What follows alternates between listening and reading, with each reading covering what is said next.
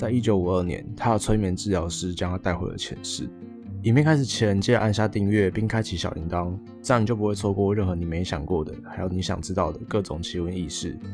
嗨，大家好，这里是洛金，读万卷书不如行万里路，跟洛金一起观其探悟。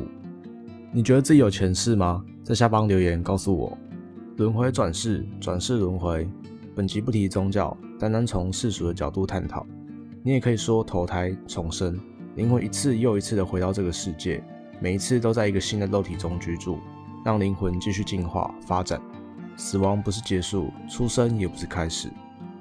你知道你从小学习数学总是比别人快，对画画设计具有天分，有可能你前世是数学家、艺术家吗？可你是几世纪前的某个战场名将，导致你对军事战争有浓厚的兴趣。也许你学习某个外语特别快，好像本来就会了一样。你喜欢什么，讨厌什么，这些都是你有前世的可能。也许这些都已经烙印在你的灵魂里了。如果你觉得轮回是不存在的，人死了后灵魂和肉体就归零了。接下来我要说的几个案例可能会改变你的观点。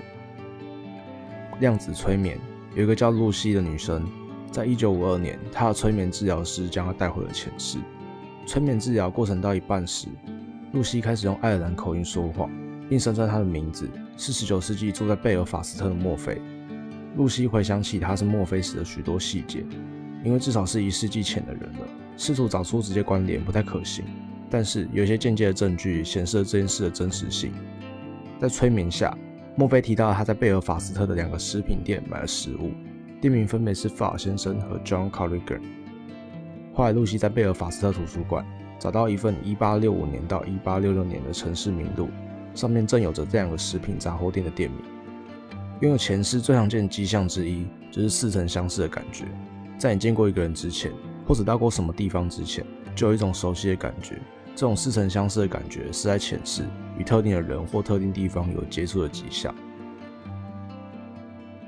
有一个女生长期被焦虑症困扰，不过在和丈夫去到希腊度完蜜月后，焦虑的病症从此消失，不再感到紧张失措了。儿子和医生面谈做前世回溯时，医生告诉他。你几世前曾经在希腊被杀害，这让这个女生非常震惊，因为她完全没和医生说过自己刚从希腊回来。也许是好的记忆覆盖了原先刻在灵魂上被杀害的记忆，也让她从焦虑症解脱。有些梦境是不是醒来很快就忘记了？而有些梦你甚至到现在还记得，那些画面很有可能是前世记忆的涌现。过去的记忆不只是回忆，这些梦境包含了一些现在生活的迹象。把这些梦和现在的生活连在一起，某些事物的背后意义都会更加清晰。一个名叫崔佛的男人，他记录下了自己的梦境，并且说他一直不相信轮回，直到自己做了这个梦。崔佛梦见自己是一名法老，爱上了一个身骑白马的女子，不是徐佳莹。而奇怪的是，这个女子的容貌也是他今生认识的人。梦里还有一个不认识的男人，那个男人活埋了崔佛。梦境的生动让他还记得被活埋时的感受，以及在快死的时候，他对梦中出现的女人说：“在另外一世，我还会见到你。”后来，崔佛也跟这个女人结婚了。也有精神学专家研究，儿童在二到四岁之间能保存清晰的前世记忆，七到八岁以后，这种记忆就会慢慢的衰退。接下来这则真实案例看完后，你不得不相信，他们真的能够保有前世记忆。一个名为卡伦的男孩。从小他就跟别人不一样。他最奇怪的地方是，出生后第一个学会的语词是爸爸妈妈，这部分没有毛病。但是之后学到第三个词竟然是巴拉岛。